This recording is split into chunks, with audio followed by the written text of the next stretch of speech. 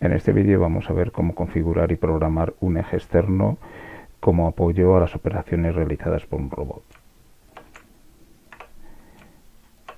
Vamos a utilizar en especial este posicionador que tiene el Robot Studio dentro de los elementos de la librería de ABB, que es un dispositivo físico que ABB comercializa para los robots de grandes dimensiones.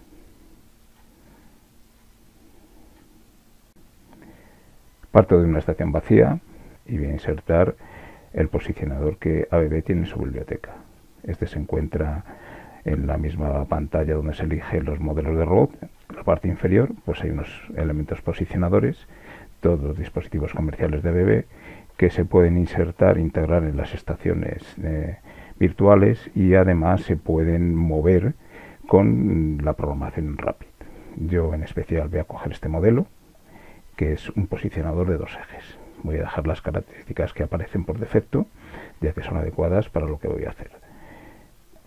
Además voy a insertar un robot, que en este caso tiene que ser de los de gran altura para poder em, trabajar de forma adecuada con el elemento posicionador y voy a elegir el IRB 2600. Voy a poner el de 1,85 metros y ahora voy a colocar los elementos en la estación. El robot lo voy a girar 90 grados en el eje Z, bueno, en realidad menos 90 grados, es decir, girar menos 90 grados en el eje Z, lo voy a aplicar y ahora voy a desplazar con las herramientas de mano alzada más o menos a esta posición. Lo voy a ajustar a una posición numérica fija, voy a poner aquí que esté pues a 1000 del sistema de coordenadas de la cuadrícula. Ahí estaría bien colocado. Y ahora lo que vamos a hacer es crear el controlador virtual. Voy a crear uno desde nuevo diseño. Le dejo el nombre que aparece por defecto y voy a decir que tengo una versión de RobotWare 6.12. Aquí aparecen los mecanismos que se van a integrar en este controlador, el robot y el posicionador. Y finalizo la configuración del controlador y ahora pasaré a hacer la configuración de la herramienta y de la pieza con la que vamos a trabajar. Ya está el controlador completamente configurado. Lo que voy a hacer es insertar una herramienta. Voy a ir directamente a la herramienta MyTool, que es bastante adecuada para este robot. Se la voy a acoplar y además eh, voy a poner un objeto en el plato giratorio.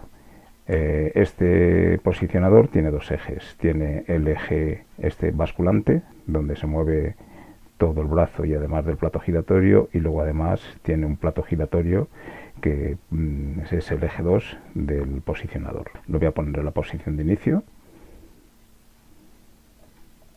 y ahora lo que voy a hacer es que una pieza que ya tengo diseñada, podría ser cualquier pieza que hayamos construido con las herramientas de modelado, yo ya la tengo diseñada y la tengo guardada como librería, pues la voy a insertar y la voy a colocar sobre el plato posicionador. Voy a la biblioteca de usuario y esa la tengo dentro de una biblioteca que he llamado mis piezas. Bien, pues la pieza la voy a conectar con el posicionador simplemente la arrastro y le digo que sí que deseo autorizar las posiciones de dicha pieza. Y ya vemos que se ha colocado en el plato posicionador. Ahora lo que vamos a hacer es crear la trayectoria. Voy a intentar crear todo el programa desde la interfaz gráfica de Robot Studio y luego ya veremos lo que ha ocurrido en Graphic. Pero como va a ser un programa muy sencillo no voy a necesitar escribir código al menos inicialmente y creo que todo se va a poder eh, realizar desde la interfaz gráfica que tiene Robot Studio para crear Rapid de forma visual. Vamos a crear un nuevo WordObject que esté asociado a esta pieza. Le va a llamar WordObject pieza.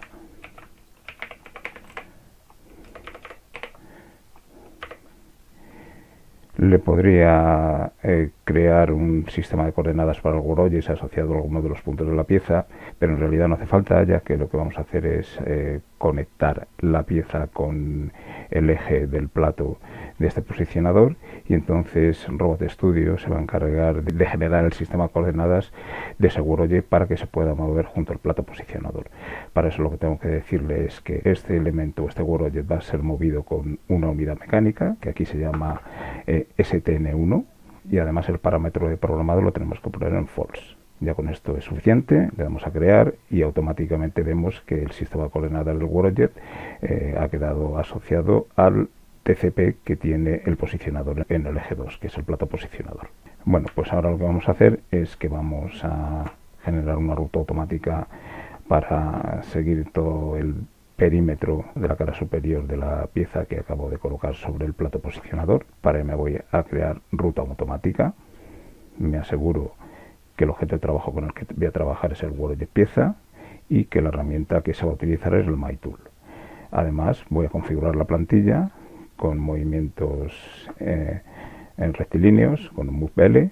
Voy a poner una velocidad más o menos lenta para que luego veamos bien cómo se ejecuta la trayectoria y la precisión lo vamos a ajustar a Z0.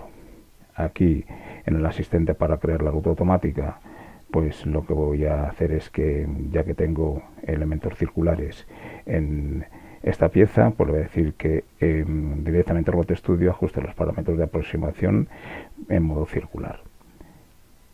Voy señalizando cada una de las aristas.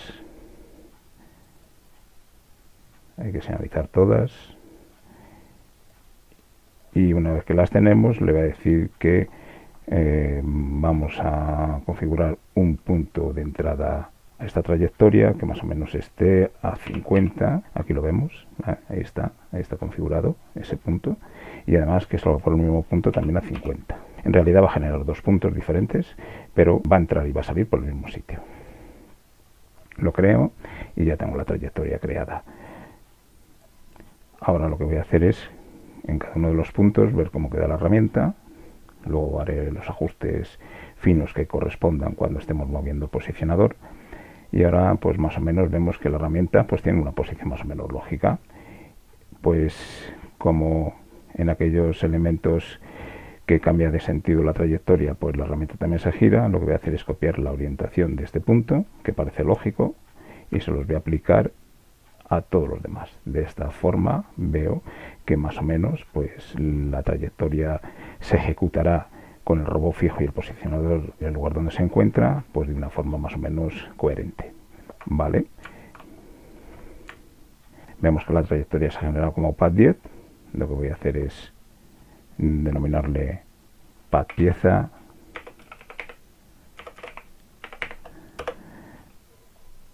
También voy a crear el procedimiento main y voy a hacer la llamada a la pieza a ese procedimiento.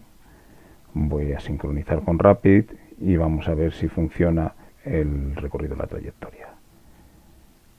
Y vemos que no es posible realizar la simulación del recorrido de la trayectoria.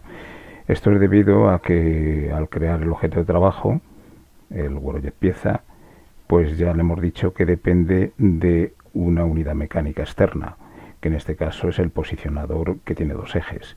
Si no habilitamos o no activamos este posicionador, que es lo que nos está diciendo aquí, aquí vemos cuál es el mensaje que nos eh, devuelve Route Studio al intentar lanzar esta trayectoria sobre un WordObject que está movido por una unidad mecánica, pues me dice que mientras no active esta unidad mecánica, ese WordObject no se va a mover. Por lo tanto, ahora mismo no puedo hacer la simulación hasta que no inserte las instrucciones de activación y desactivación que van a controlar la acción de este posicionador. Bueno, en principio lo que vamos a hacer es lo siguiente y es que el posicionador que nos vaya colocando la pieza en función del movimiento del robot. Vamos a decir que vamos a ver el robot en la posición, a ver cómo queda, ¿vale? Esa sería una posición buena, por lo tanto ya le tenemos que decir que aquí el, eje externo tiene una posición eh, para este target. Para ello voy al botón derecho del ratón y le digo modificar eje externo. Y vemos que nos sale este menú donde vamos a poder mover el eje a nuestro gusto y además luego los datos de esos ejes los vamos a poder insertar aquí de forma gráfica en las instrucciones del RAPID. Eh, vemos que aquí el posicionador tiene dos ejes y son los que aquí aparecen en este cuadro de diálogo en los campos 2 y 3. Si yo intento mover el eje posicionador, vemos que sí se mueve, pero porque previamente en la simulación he activado el eje. Si esto que aparece por defecto cuando arrancamos Robot Studio deshabilitado, yo no podré mover el eje, ya que vemos que es imposible interactuar con los ejes externos si previamente no lo he habilitado en el modo simulación. ¿Vale? Entonces, lo que tengo que hacer es, primero, entrar en la pestaña simulación, activar unidades mecánicas y hacer tic en aquellas unidades mecánicas que quiera mover. En este caso es una única unidad mecánica que tiene dos ejes, por lo tanto la habilito y a partir de aquí sí que puedo mover los ejes externos. Voy a seleccionar el Target Jet, le voy a decir que quiero mover ese eje externo y lo voy a poner a cero. ¿vale?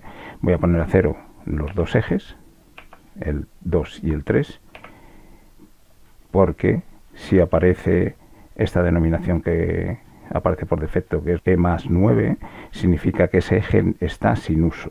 Yo como quiero utilizarlos y además quiero que esté en una posición de 0, 0 para cada uno de los ejes, para el plato y para el brazo de balanceo, pues eh, lo tengo que indicar de esta manera. En este caso, todo lo que indiquen estos campos serán grados. Lo voy a aplicar y ahí ya estaría el eje en la posición 0. Vamos a la siguiente, que es el punto ya en el que entramos a trabajar sobre la trayectoria. También podría ser la misma posición para los ejes, es decir, 0 grados, 0 grados. Por lo tanto, traspaso este valor aquí y lo aplico. ¿Vale? No puedo dejar ninguno sin poner, ya que si alguno de los campos del movimiento de los ejes en alguno de los targets y lo dejo el valor que pone por defecto, luego cuando intente ejecutar el programa me dirá que ese campo no es correcto. El target 30, pues ahí ya podríamos mover un poquito el eje.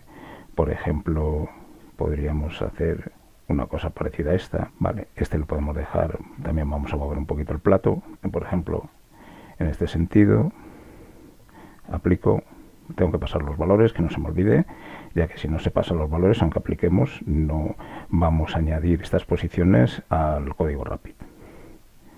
Esa será la siguiente posición, este será el target 40, pues para este que vamos a hacer, vamos a poner que el brazo de balanceo esté más inclinado y además que ahí pongamos un poquito más giro al plato posicionador paso los valores, aplico y voy a ir haciendo lo mismo para todas las posiciones que tengo en, del robot.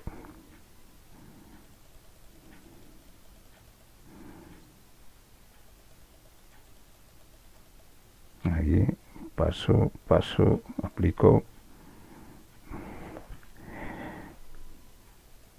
Aquí voy a pasar estos dos valores, aplico este 70 por ejemplo lo que vamos a hacer es que vamos a mover solo el plato así. Paso los dos valores aplico.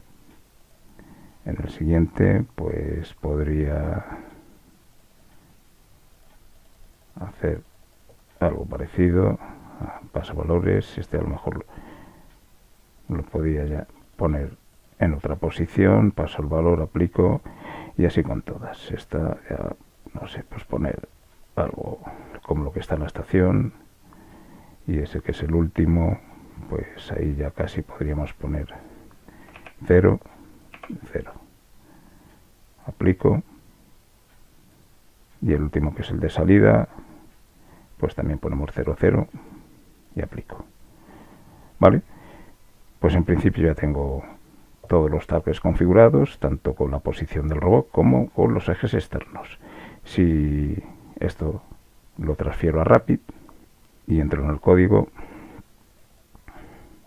vemos que aquí en las constantes que se generan con los targets, además de la posición X, Y y Z del robot, y los otros parámetros relacionados con la configuración de ejes y la reorientación de la herramienta, pues en el último grupo de configuración de este dato, vemos que sí que se han ido configurando unos valores para el segundo y tercer eje de los ejes externos.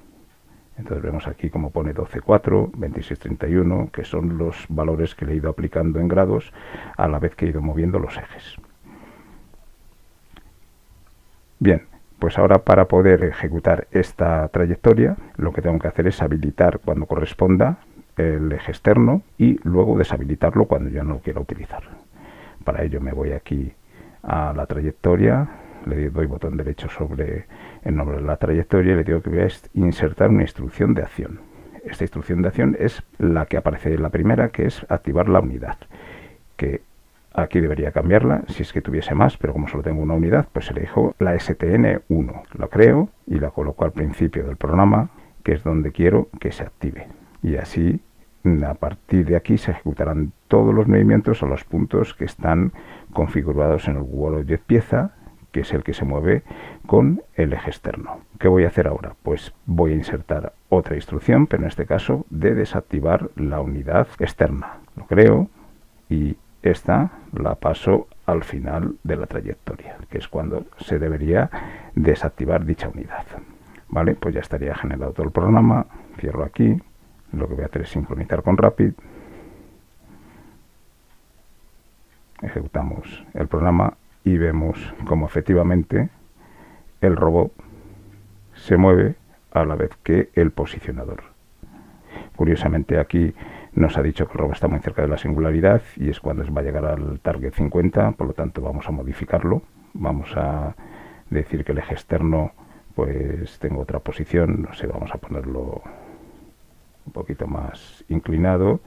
Le pasamos este dato, lo cierro, vuelvo a sincronizar con Rapid y vamos a ejecutar otra vez el programa.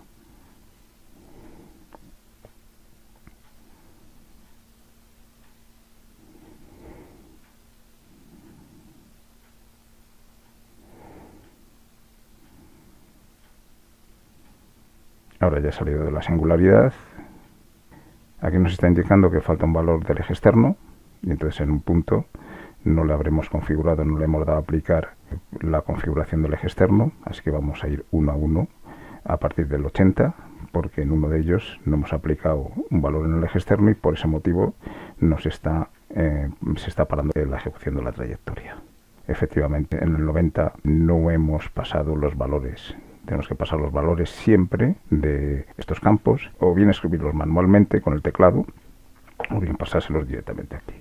Aplico y ahora ya sí que parece que están todos los valores de todos los targets. Sincronizo con Rapid, ejecutamos